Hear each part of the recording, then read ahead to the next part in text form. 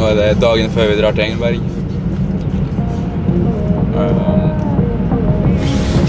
føler meg nesten klar.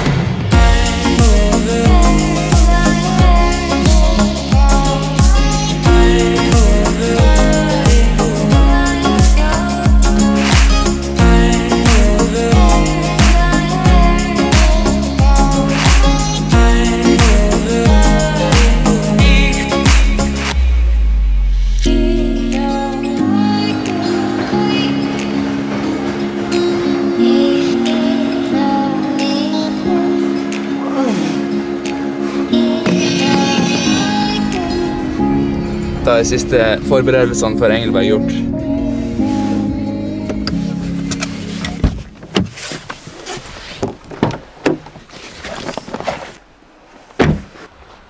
Så fin du er.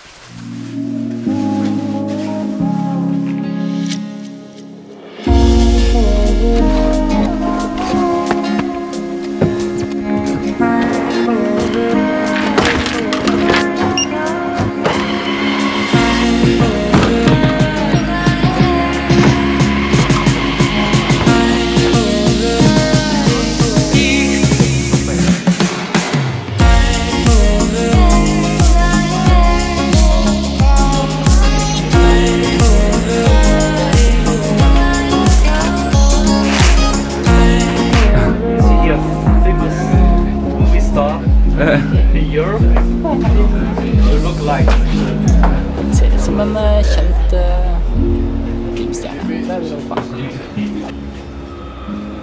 Ikke hver dag man får høre det, nei.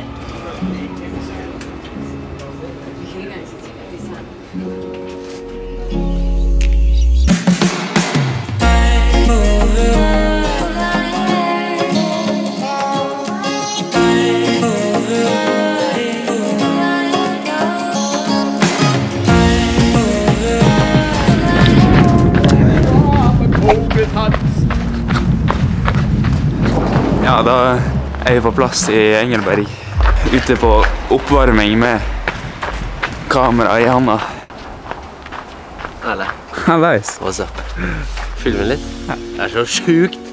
Sto i bakken og så bare sola liksom i fjellvegga rundt her. Ja. Det er helt sjukt. Ja. Nyte det.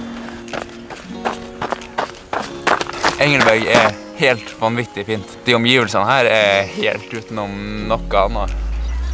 Nå gleder jeg meg til å hoppe, hoppe kvalifisering i dag.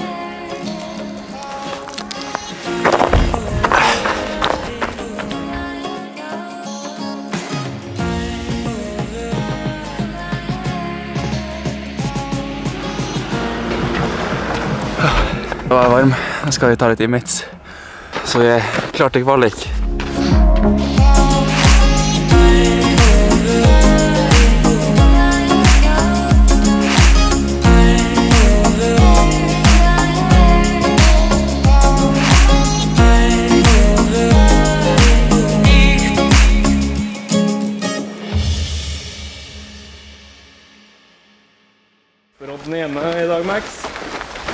Jeg brodden hjemme. Det er trist. Ja, du som blir å gammel år. Ja. Pass på skrotten. Jeg er på det. Skli litt fram på isen, setter seg i ryggen. ikke sant?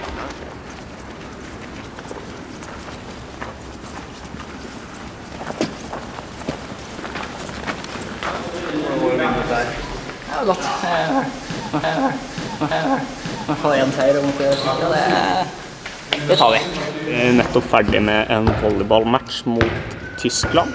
Den vant vi veldig lett. Ikke så mye min feil. Så nå har vi vel 4-0 i lagkonkurranser mot uh, Tyskland denne sesongen. Så det var gøy å få lov til å være med på hvert fall én av dem. Vi hadde en muldvarp på laget vårt. ikke? Jo, vi hadde en Mulvar. Han hadde et par dårlige touch. Eisen Bisley skjønte før matchen hvor det var lurt å være på lag, så han eh, gikk rolig over til vår side. Eh, så det var smart av han.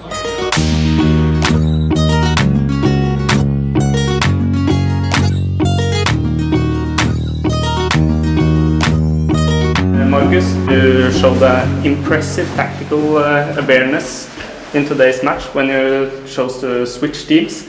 Can you explain that a little bit? I um, am not the best player normally in the German team, and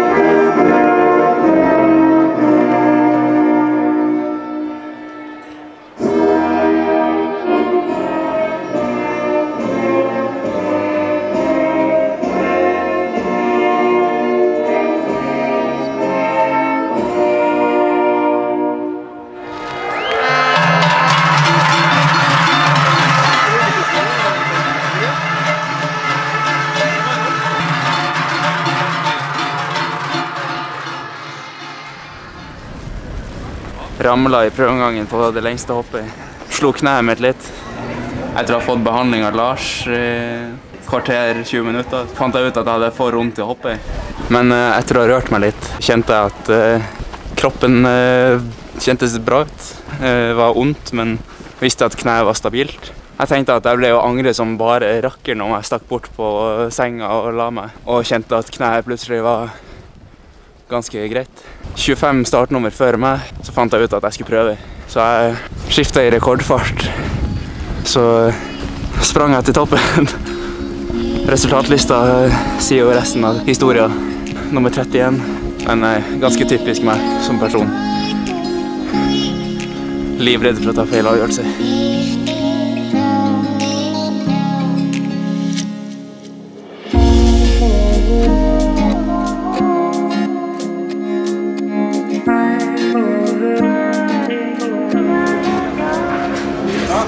Gidder dere å komme én og én ut i TV-sonen? Dere skal ønske lokalavisa deres eh, god jul og godt nyttår. Eller også si at dere håper de følger med til eh, når dere skal til hoppuka. Og så Skal vi til hoppuka? Ja, tenk til det hvis du orker, da. Eller deg òg, Gabriel. Kom når du har tid, da. Jeg tar opp med Nise. Jeg, Så her er Robert. Her er det noe gærlig som ikke er helt rett. Beina skal jo være nedover, og hodet skal være oppover. Her er det jo stikk motsatt. Dette må være en surrebukk. For det så jo ut som bakken ga han ganske bra med juling. Ja. Forfang slo tilbake pallen glapp. 1,4 poeng, ja. Ja, Han ble nummer fire, det var det det var greia. Det var ikke det han hadde gitt bakken juling. Men det er jo bra å bli fire. Veldig bra å bli fire. harding, han der forfangen. Var det sånn du ønska deg det? Det var mye bedre enn jeg hadde.